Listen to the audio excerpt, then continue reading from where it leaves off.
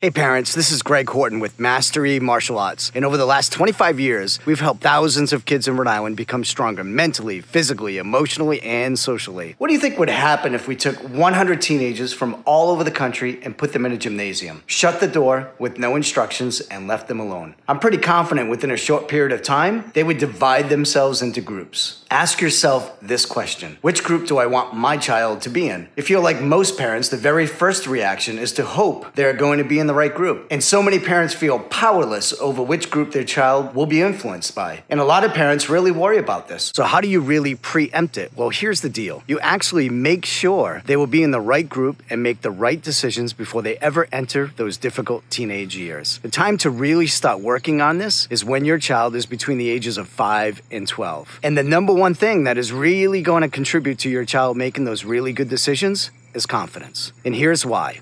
When your child has the self confidence to really know right from wrong and to stand by their decisions, they are going to be immune to peer pressure. The reason why is because peer pressure preys on a child's lack of belief in themselves. Peer pressure preys on the belief that in order to be accepted, they need to do what everyone else does. But the antidote for peer pressure is self confidence. A self confident child is going to say, I don't care what everyone else thinks. I know what is right. I know what's wrong. And I'm going to stick to that decision. So the question we really need to be asking ourselves isn't how do we make sure they don't get into the wrong crowd? The real question is how do we cultivate that confidence in our children? I want to give you a quick little idea that can help you right now start giving your child a boost of confidence. At the end of the day, focus on what your child did right. Ask your child what he or she enjoyed doing today. Find the areas they did a great job with and shine a bright light on it. People say where energy goes is where our focus goes. And if we focus on what your child is doing right and what they are good good at, not only will they continue to do more of that, but they're going to feel good about themselves and then they will start having that confidence. Listen, you know what? The fact that you're watching this right now really indicates you are a dedicated parent. I want to take a minute to thank you for not watching the video, but for your effort and your care of how your children turn out. I think you and I can both agree, even though we have never met, that we live in a pretty good country. And our kids are the next generation of people that will live in this country. By being the parent you are and by dedicating yourself to make making sure your child really makes the best decisions to be the best they can be, you're really making sure that our country is going to be left in the hands of great individuals. I want to offer you my respect and I want to offer you my support. Until then, this is Greg Horton signing off. And by the way, if you know someone who might benefit from hearing this message, please feel free to share this video.